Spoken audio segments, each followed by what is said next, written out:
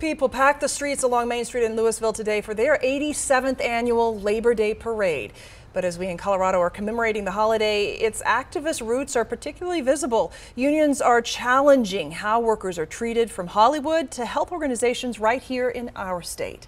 Thanks so much for joining us for Denver 7 News at 6 this Labor Day. I'm Jaclyn Allen. And I'm Danielle Kreuter. Between contract negotiations, demonstrations, and all-out strikes, 2023 has been a busy year for the labor movement in Colorado. Denver 7 Brandon Richards begins our in-depth coverage. He spoke with union leaders this Labor Day about how they're working to improve pay and conditions across industries.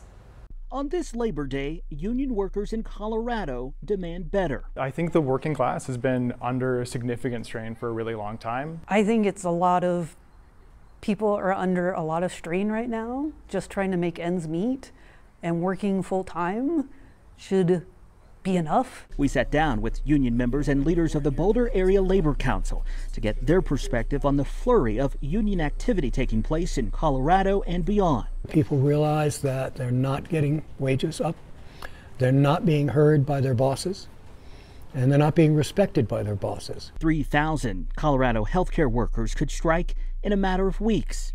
Their union voted to authorize the strike if a new labor agreement can't be reached with Kaiser Permanente by the end of the month. And the Colorado chapter of SAG AFTRA continues to stand in solidarity with ongoing strikes that halted TV and movie productions, including in Colorado which is home to about 600 members. Now, in addition, auto workers are threatening a national strike, as are flight attendants with American Airlines and pilots with Southwest, all of them demanding better pay and better working conditions. Connor Hall, who's with the United Food and Commercial Workers Union Local 7, says he knows all too well what it's like to work for a company that doesn't care for its workers. He says he had a bad experience working for a well known grocery chain. They came down hard. They fired people, they intimidated people. He says having a union behind him makes a big difference. Not only more secure, but I would say that it's it's the most respected I've ever been by my employer. On a day meant to celebrate workers. To the workers, open your eyes and, and gain power. Um, the, the, the path is clear. These Colorado union members say everyone gains when workers do, and they believe major corporations will come to see that too. I think some of them are going to fight him, but I think as more and more people see the benefits that come with it, um, it's going to be hard for them to continue to fight. Just go ahead and work with your union instead of spending millions and millions of dollars fighting it. In Boulder County, Brandon Richard, Denver 7. Now, taking the conversation further in depth, data collected by the Cornell ILR School Labor Action Tracker shows in July alone, more than 320,000 U.S. workers went on strike, and that is the most we've seen in three decades. Now, the surge in workers demanding more rights got us wondering what's happening within the labor movement here and across the country. This is a formation of a perfect storm. And what I mean by that is three things have come together over the summer.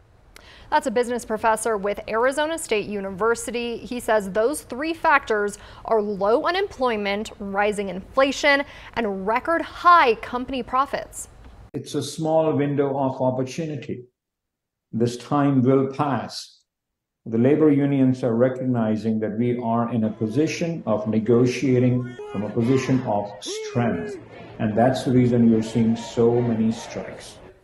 And digging deeper, the past year did not see any major changes in Colorado's labor laws, but one change affecting sick days took effect this summer, and more are set for the start of the new year.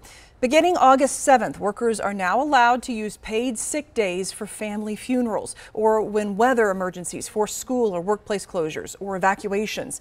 This is part of a revision to the Colorado Healthy Families Workplace Act. Starting next July, employers can no longer ask job applicants about their date of birth or any indicator of age. That is part of the Job Application Fairness Act, which passed this year. But that will not apply if age limits are a condition for the job, such as federal rules for airline pilots being under 65. You can read up on all the upcoming changes to Colorado's labor laws on our website, denver7.com.